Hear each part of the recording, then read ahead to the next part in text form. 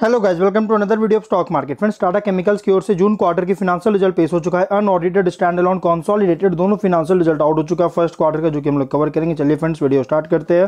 पहले consolidated cover करेंगे, करोड़ में नंबर्स है। Income thirty eight hundred thirty six crore का मार्च ट्वेंटी फोर में thirty five hundred eighty nine crore का और जून ट्वेंटी थ्री में forty two hundred sixty seven crore का इनकम है। क्वार्टर ऑन क्वार्टर में इंक्रीज है ईयर ऑन ईयर में डिक्रीज किया है। Expense thirty six hundred twenty one crore का मार्च ट्वेंटी फोर में thirty four hundred thirty three crore का और जून ट्वेंटी थ्री में thirty five hundred two twenty seven crore का एक्सपेंस हुआ था। क्वार्टर ऑन क्वार्टर में इंक्रीज है ईयर ऑन ईयर में भी इंक्रीज का एक्सपेंस जिसके कारण ईयर ऑन ईयर में इनकम में डाउन था और प्रॉफिट में वापस डाउन हुआ है। और यहाँ पे गाइस पिछले क्वार्टर में कंपनी को 963 करोड़ के एक्सेप्शनल आइटम्स में खर्च हुआ था, जिसके बाद कंपनी का ऑपरेटिंग प्रॉफिट 269 करोड़ का मार्च 24 में 796 करोड़ का लॉस है और जून 23 में 749 करोड़ का प्रॉफिट है। क्वार्टर ऑन क्वार्टर में इंक्रीज है ईयर ऑन ईयर में डिक्रीज किया है। नेट प्रॉफिट कंपनी का 190 करोड़ का मार्च 24 में 841 करोड़ का लॉस है और जून 23 में 587 करोड़ का प्रॉफिट है। क्वार्टर ऑन क्वार्टर में इंक्रीज है ईयर ऑन ईयर में डिक्रीज किया है।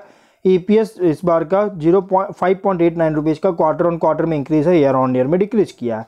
रिज़ल्ट अगर देखा जाएगा तो ईयर ऑन ईयर की इनकम और प्रॉफिट दोनों में डाउन है क्वार्टर ऑन क्वार्टर में इंक्रीज किया है।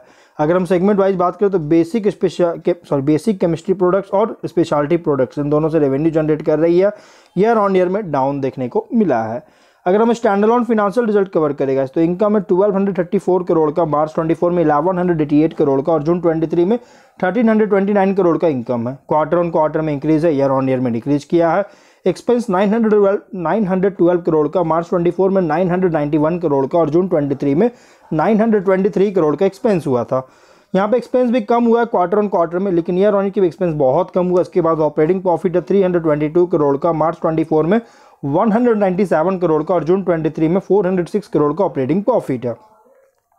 क्वार्टर ऑन क्वार्टर में इंक्रीज है ईयर ऑन ईयर में डिक्रीज किया है। नेट प्रॉफिट कंपनी का 257 यहाँ पे जो नेट प्रॉफिट है 271 करोड़ का। मार्च 24 में थ्री 217 करोड़ का और जून 23 में 328 करोड़ का प्रॉफिट है। क्वार्टर ऑन क्वार्टर में इंक्रीज है ईयर ऑन ईयर में डिक्रीज किया है। ईपीएस कंपनी का है ten point six four rupees का क्वार्टर ऑन क्वार्टर में इंक्रीज है ईयर ऑन ईयर में डिक्रीज किया है। रिज़ल्ट अगर देखा जाए तो स्टैंडलॉन हो या कॉन्सॉलिडेटेड गाइज़ यहाँ पे ईयर ऑन ईयर के इनकम प्रॉफिट में डाउन है, लेकिन क्वार्टर ऑन क्वार्टर में इंक्रीज किया और गाइज़ ईयर ऑन ईयर में डाउन होने के कारण इसके शेयर को इम्पैक्ट कर सकता है। फोर में इसका रिज़ल्ट आया था इवनिंग में। और one thousand forty nine rupees पे शेयर क्लोज किया और थ्री पॉइंट फाइव परसेंट का आज क्रैश किया था।